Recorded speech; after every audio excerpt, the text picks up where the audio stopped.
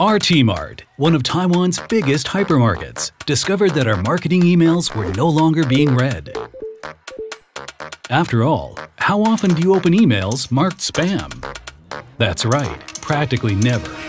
So, to reach our customers, we knew we had to get innovative. And to get innovative, we got traditional.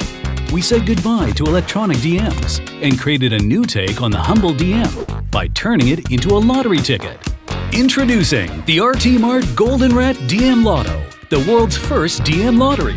Knowing that lotto ticket sales peaked during the Lunar New Year, we delivered our DMs just before the festival began.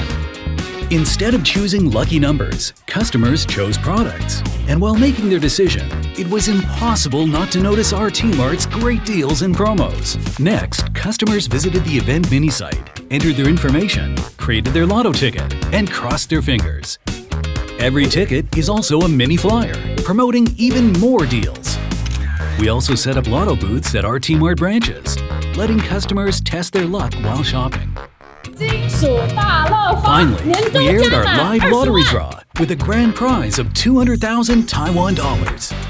The Golden Rat DM Lotto had huge results. Within one week, 22,348 lottery DMs were created. The average customer spent over 20 minutes engaged with the DM, and we created a shopping frenzy as festival season sales grew remarkably. All because we found a unique approach to a traditional communication. The Humble DM. Golden Rat DM Lotto. RT Mart.